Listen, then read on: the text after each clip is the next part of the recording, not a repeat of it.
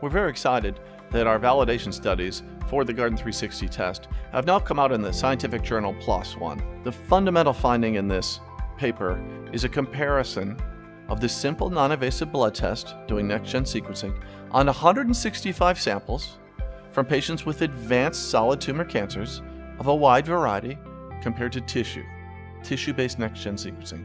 Samples were collected at UC San Francisco, MD Anderson Cancer Center, John Wayne Cancer Institute, Samsung Medical Center from, in Seoul, Korea, and from two large community based healthcare systems, one in Georgia and one in Washington state. So, this multi center study found that number one, the Guardant 360 test has exquisite sensitivity.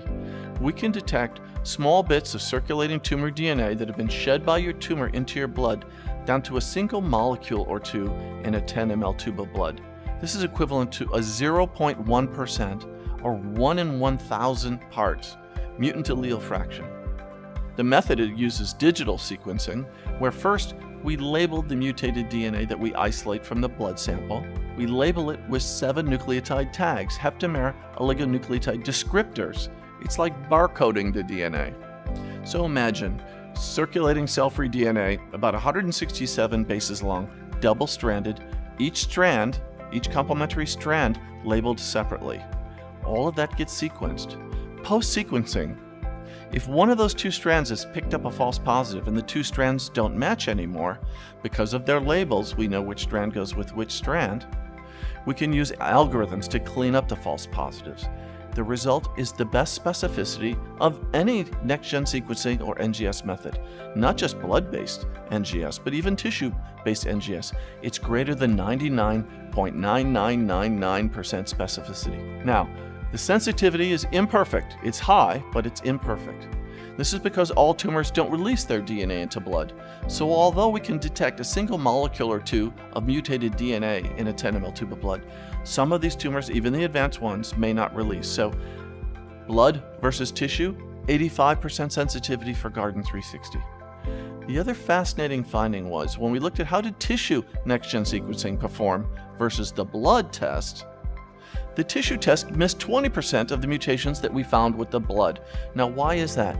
That's because needle biopsies of deep cancers are limited by tumor heterogeneity. These tumors are multi-clonal. The needle biopsy can't possibly capture all the clones. Even if I surgically remove the lesion, there may be multiple lesions in metastatic cancers. And as we know now, these different clones in different metastases have different genomic signatures. The blood test may act as a summary for all parts of a tumor and all metastases of a tumor. Which test would you use first? At progression, I would use the non invasive test first. You're going to get a result in two weeks. If nothing's detected, by all means do the tissue biopsy. On the first 1,000 Guardant 360 tests run, in actual clinical practice, the test almost never fails. There was a 99.8% pass rate.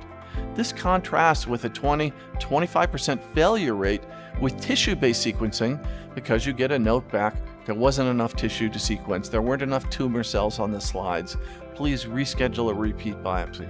Finally, when we compare the two methods, blood based next generation sequencing to tissue based sequencing for the genes in the Guardant 360 panel, both tests had equivalent diagnostic accuracy 99.3, 99% plus diagnostic accuracy. So both tests highly accurate, both tests with near perfect specificity, both with high sensitivity but imperfect, but one, only one of the two tests non-invasive. That's the difference between tissue-based sequencing and plasma-based digital sequencing with Guardant 360.